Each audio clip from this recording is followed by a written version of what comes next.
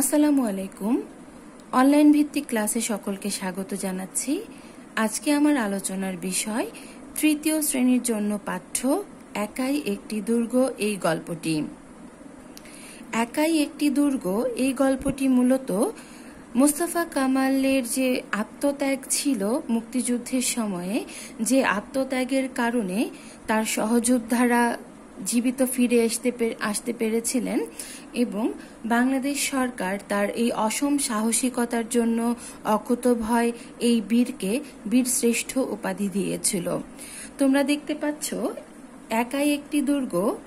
এই গল্পের তোমাদের পাঠ্য বইয়ের ডান দিকে যে ছবিটি আছে, এই ছবিটি হচ্ছে বীরশ্রেষ্ঠ সিপাহী মোহাম্মদ মুস্তাফা কামালের ছবি। এই গল্পটি পড়ে তোমরা যে বিষয়গুলো শিখতে পারবে, তা হচ্ছে গল্পের মূল বিষয় বুঝতে পারবে, গল্প সংশ্লিষ্ট প্রশ্নের উত্তর বলতে পারবে, বীরশ্রেষ্ঠ মুস্তফা কামাল সম্পর্কে বলতে পারবে, বিভিন্ন বিরাম চিহ্ন চিনে সাবলীলভাবে বাক্য পড়তে পারবে। শুরুতেই আমরা তাহলে গল্পটি পড়ে নেই। গল্পে কি আছে আমরা সেটা আগে একটু জেনে নেই। মূলত গল্পের প্রেক্ষাপটটা শুরু হয়েছে যুদ্ধকে কেন্দ্র করে। উনিশশো একাত্তর সালে যে আমাদের দেশে মুক্তিযুদ্ধ হয়েছে, সেই যুদ্ধকে কেন্দ্র করে মাস শুরু হয়েছে এপ্রিল মাস থেকে। শুরুতে বলা হয়েছে এপ্রিল উনিশশো একাত্তর। পাকিস্তানি হানাদার বাহিনী এগিয়ে আসছে ব্রাহ্মণ ব্রাহ্মণবাড়িয়ার দিকে। পাকিস্তানি হানাদার বাহিনী এগিয়ে আসছে কোন দিকে? ব্রাহ্মণবাড়িয়ার দিকে।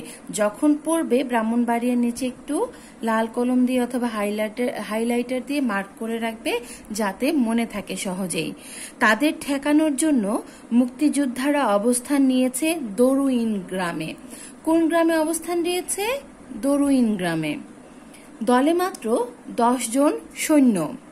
তার মানে মুক্তিযোদ্ধাদের সৈন্য সংখ্যা কতজন ছিল? মাত্র দশ জন ছিল। আর তার অধিনায়ক সিপাহী মোহাম্মদ মুস্তাফা কামাল। যে মুক্তিযোদ্ধাদের দলটা দরুইন গ্রামে অবস্থান করছিল, সেই দশ সদস্যের দলের মধ্যে যিনি অধিনায়ক থাকেন বা দলনেতা বা দলপতি থাকেন, সেই দলপতির নাম ছিল মোহাম্মদ মুস্তফা কামাল। তিনি পেশায় সিপাহী ছিলেন। সাতই মার্চ ভাষণ দেন জাতির পিতা বঙ্গবন্ধু শেখ মুজিবুর রহমান।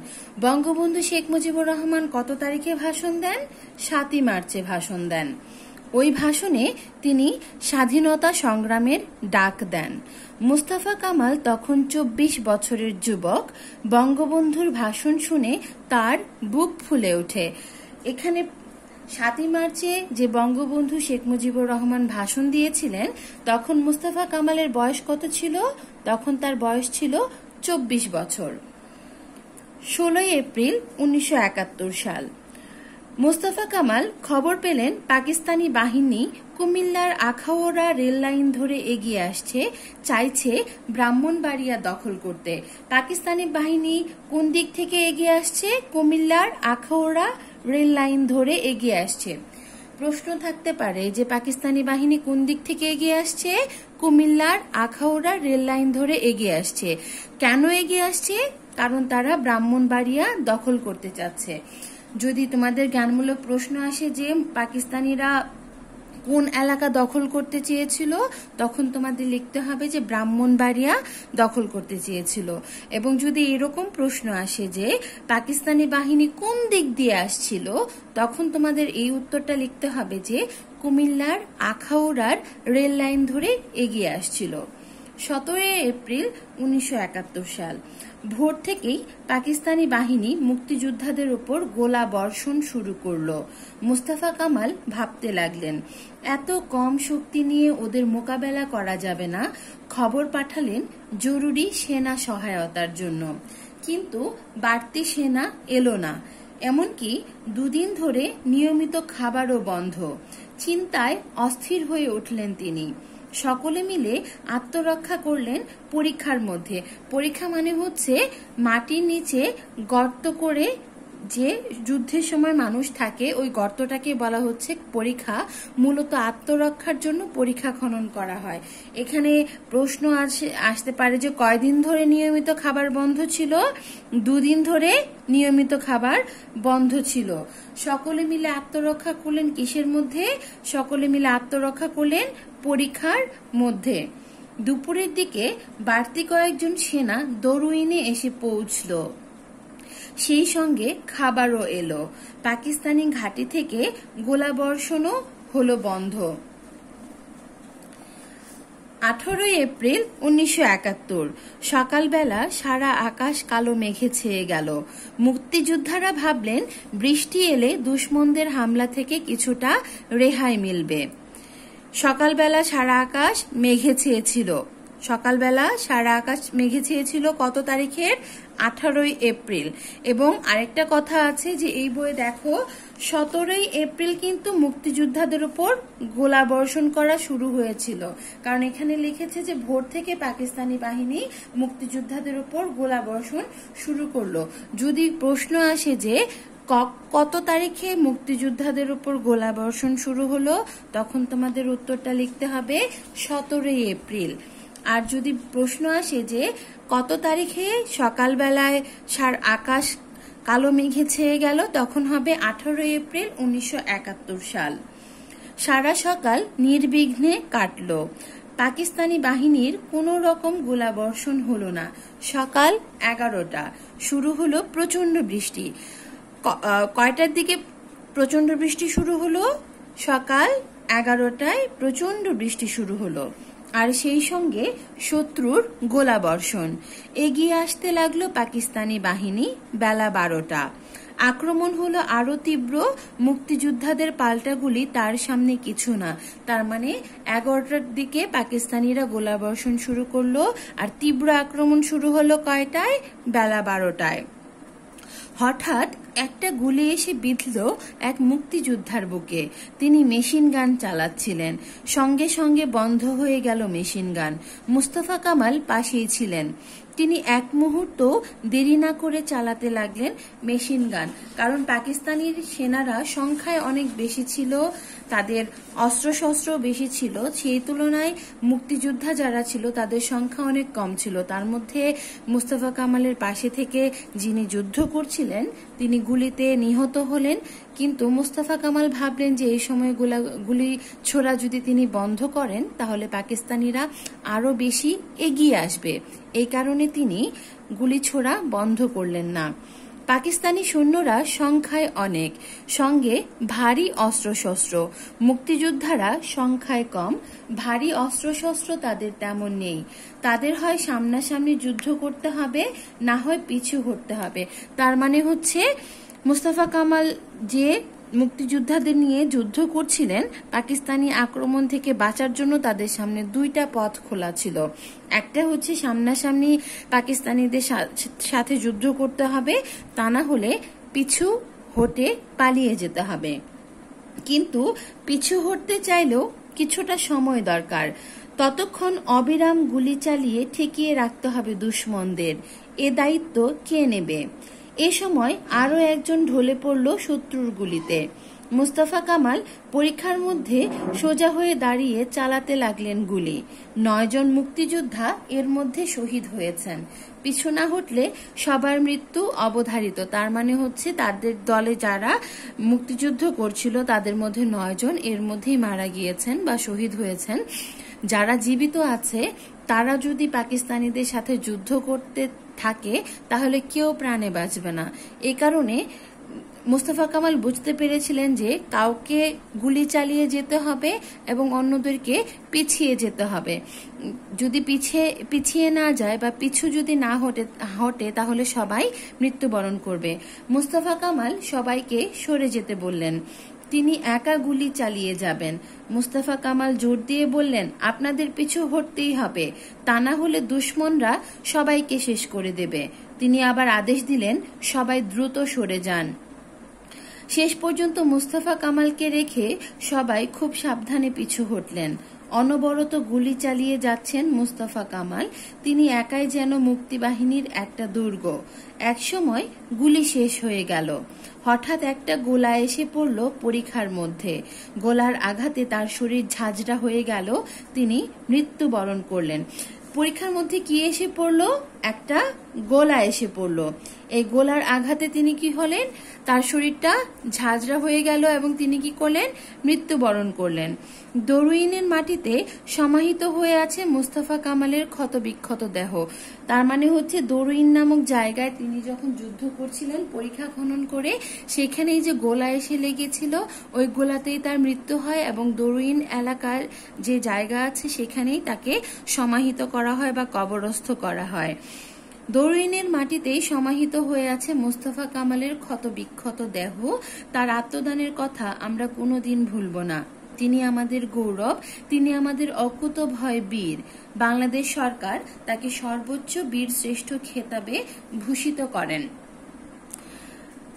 গল্পটি পড়া শেষ হলো। এখন তোমাদের মনে আস, হতে পারে একাই একটি দুর্গ। এই দুর্গ দিয়ে তিনি আসলে কি বুঝিয়েছেন বা লেখক কি বুঝিয়েছেন এই গল্পের মধ্যে?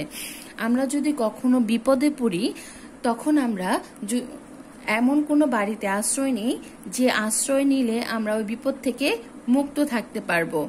আবার দুর্গ বলতে একটা শক্তিশালী, বিশাল অট্টালিকা বা ভবনকে বোঝানো হচ্ছে দুর্গ বলতে।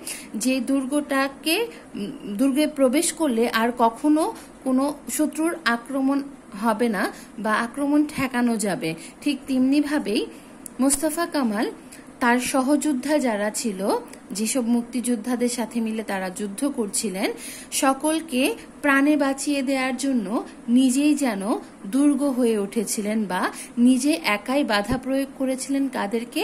পাকিস্তানি সেনাদেরকে। এজন্যই তাকে দুর্গের সাথে তুলনা করা হয়েছে যে, এক, দুর্গ যেমন অনেকগুলো মানুষকে সুরক্ষা দিতে পারে, ঠিক তেমনি একজন মানুষ হয়েও তিনি নিজের জীবনের মায়া না করে তার সহযোদ্ধাদের বাঁচাতে চেয়েছেন, দুর্গের কাজ করেছেন। এজন্যই মুস্তফা কামালকে নিয়ে রচিত এই গল্পটির নাম রাখা হয়েছে, একাই একটি দুর্গ। এই পড়া শেষ করার পর আসো শব্দার্থে যাই। তোমাদের পাঠ্য বইয়ে যে শব্দার্থগুলো আছে, সেগুলো আমি খাতায় লিখেছি। এই খাতায় লিখেছি, তোম শব্দার্থগুলো দেখো তোমরা। শব্দার্থ প্রথমে আছে কি? অধিনায়ক। অধিনায়ক মানে হচ্ছে দলপতি বা দলনেতা। তোমাদের ক্লাসের মাঝখানে অনেক ছাত্রছাত্রী। কিন্তু সবাই কি ক্যাপ্টেন হতে পারে? না। ঠিক তেমনি ভাবে মুক্তিযোদ্ধাদের মধ্যেও যে যারা দলনেতা ছিলেন ক্যাপ্টেনের মতো, যারা অনেক বেশি দায়িত্বশীল থাকবে তারপর অন্যের উপকার করবে, নিজের জন্য চিন্তা করবে না, এরকম লোক, লোককেই দলনায়ক বা দলপতি বা অধিনায়ক বানানো হয়। তো মুস্তফা কামাল তার দলে যে মুক্তিযোদ্ধাদের সদস্য যারা ছিল, সব সদস্যদের দলনেতা বা অধিনায়ক ছিলেন। পরীক্ষা। পরীক্ষা মানে হচ্ছে শত্রুর আক্রমণ থেকে বাঁচার জন্য মাটির তৈরি গর্ত। এই গর্তের মধ্যে লুকিয়ে থাকলে দেখা যাচ্ছে যে সামনে কিছু বস্তা বা গাছ গাছগাছালির ডালপালা দেয়া থাকে, সেখান থেকে শুধুমাত্র বন্দুকের নলটা বের করে অনবরত গুলি চালানো যায়। আর আমরা যদি সমতল জায়গায় থেকে যুদ্ধ করি, বা মুক্তিযোদ্ধারা যদি সমতল জায়গা থেকে যুদ্ধ করত, তাহলে পাকিস্তানিরা সহজেই তাদেরকে দেখতে পেত এবং সহজেই গুলি করতে পারত। কিন্তু পরীক্ষায় লুকিয়ে থেকে গুলি গোলাগুলি করা হয় প্রতিপক্ষের উপরে। এটাই হচ্ছে গিয়ে শত্রুর আক্রমণ থেকে বাঁচার জন্য মাটির যে তৈরি গর্তটা সেটাকে বলা হচ্ছে পরীক্ষা। নির্বিঘ্নে। নির্বিঘ্নে মানে হচ্ছে নিরাপদে বা বাধাহীন ভাবে অকুত ভয় মানে ভয় নেই এমন। এখানে মূলত মুস্তফা কামালকে অকতভয় বলা হয়েছে, কারণ তিনি যদি নিজের প্রাণের ভয় পেতেন, তাহলে তিনি নিজে পালানোর চেষ্টা করতেন। কিন্তু তিনি অকুত ভয় ছিলেন, কোনো কিছুকেই তিনি ভয় পেতেন না।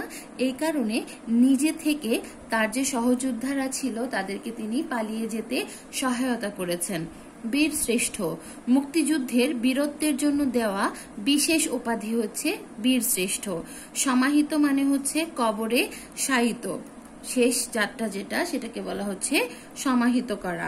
পরবর্তীতে দেখো তোমাদের দুই নম্বরে আছে যে কি, কিছু শব্দ দেয়া আছে, ঘরের ভিতরে শব্দগুলো খালি জায়গায় বসিয়ে বাক্য তৈরি করো।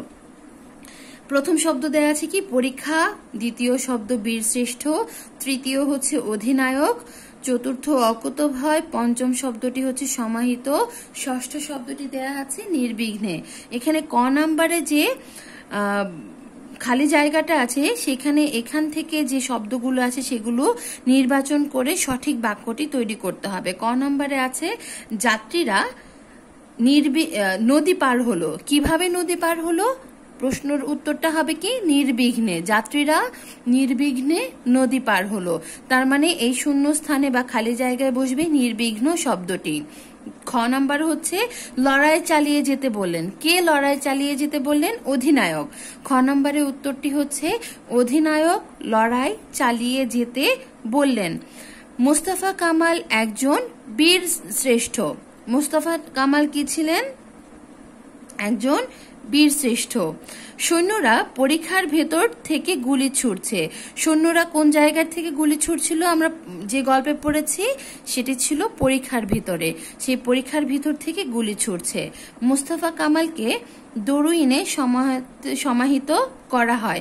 কারণ দরুইনে যে যখন গোলাগুলি চলছিল, একটা গোলা লেগেছিল তার শরীরে এবং তিনি সেই গোলার আঘাতেই মৃত্যুবরণ করেছিলেন এবং দরুইন নামক জায়গাতেই তাকে কবরস্থ বা সমাহিত করা হয়। তিনি একজন অকুত ভয় মুক্তিযোদ্ধা। মুস্তাফা কামালকে সম্পর্কে বলা হচ্ছে যে, তিনি একজন অকুত ভয় মুক্তিযোদ্ধা। দুই নম্বরে যে ঘরের ভিতরে শব্দগুলো খালি জায়গায় বসিয়ে বাক্য তৈরি করার কথা বলা হয়েছিল, সেটা আমি তোমাদেরকে আবার পড়ে শোনাচ্ছি। সেটি হচ্ছে ক নাম্বার, যাত্রীরা নির্বিঘ্নে নদী পার হলো। খ, অধিনায়ক লড়াই চালিয়ে যেতে বললেন। গ, মুস্তফা কামাল একজন বীর শ্রেষ্ঠ ঘ, সৈন্যরা পরীক্ষার ভেতর থেকে গুলি ছুটছে ও হচ্ছে মুস্তফা কামালকে দরুইনে সমাহিত করা হয়। চ হচ্ছে তিনি একজন অকুত ভয় মুক্তিযোদ্ধা। তিন নম্বরে যেটি দেয়া আছে তোমাদের বইয়ে, সেটা হচ্ছে পাঠ অনুসরণ করে নিচের ঘটনার পাশাপাশি তারিখবাচক শব্দ লিখি। ক নাম্বার হচ্ছে পাকিস্তানি বাহিনী আখাউড়া রেল লাইন ধরে এগোয় ষোলোই এপ্রিল। এই উত্তরটা দেয়া আছে। আর খ নাম্বার হচ্ছে, দরুইন গ্রামে মুক্তিযোদ্ধাদের উপর গোলা বর্ষণ শুরু হয় কত তারিখে?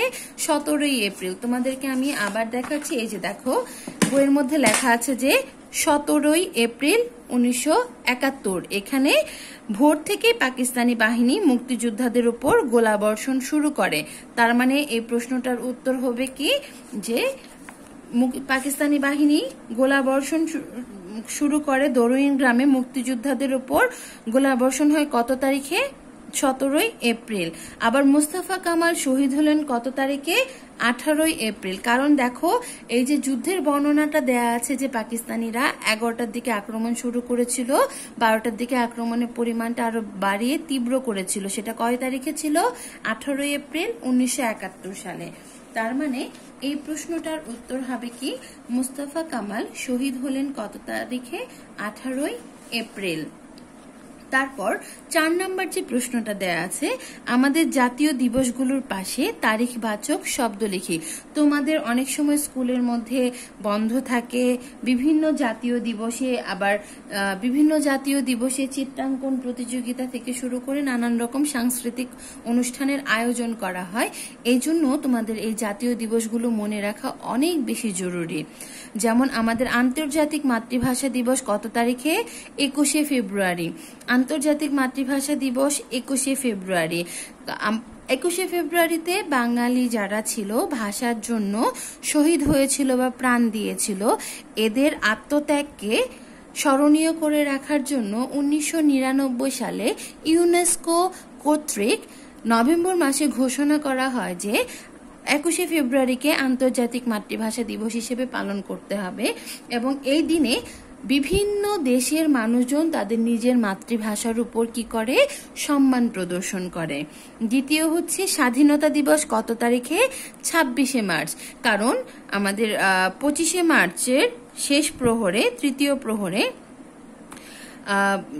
শেখ মুজিবুর রহমান কি করেছিলেন? স্বাধীনতার ঘোষণা করেছিলেন। এজন্য এটাকে বলা হচ্ছে যে স্বাধীনতা দিবস কত সালে, কত তারিখে? ছাব্বিশে মার্চে। বিজয় দিবস কত তারিখে? ষোলোই ডিসেম্বর। তোমরা এই জিনিসটা সবাই জানো, আমাদের দেশ মুক্তিযুদ্ধ করে দীর্ঘ নয় মাস রক্তক্ষয়ী যুদ্ধের পর স্বাধীন হয়েছিলাম আমরা ডিসেম্বর মাসে এসে। পাকিস্তানিরা আক্রমণ করেছিল পঁচিশে মার্চ এবং আমরা পাকিস্তানিদেরকে পরাজিত করেছি। পরাজিত করে ষোলোই ডিসেম্বর আমরা বিজয় অর্জন করেছি। আজকের জন্য এই পর্যন্তই রইল। তোমরা এই গল্পটি সুন্দর করে পড়বে, পড়ার পর শব্দার্থগুলো সুন্দর করে শিখবে। তোমাদের বাড়ির কাজ থাকবে শব্দার্থ, তৈরি এবং বিভিন্ন দিবসের সাথে সাথে যে তারিখবাচক শব্দ আছে সেগুলো শেখা। তোমরা এটা খাতায় লিখবে এবং স্কুল খোলা হলে অবশ্যই আমাকে দেখাবে। সে পর্যন্ত ভালো থাকবে এবং সবসময় নিরাপদ থাকার চেষ্টা করবে। বাসার বাইরে কেউ যাবে না। ভালো থেকো সবাই। আসসালামু আলাইকুম।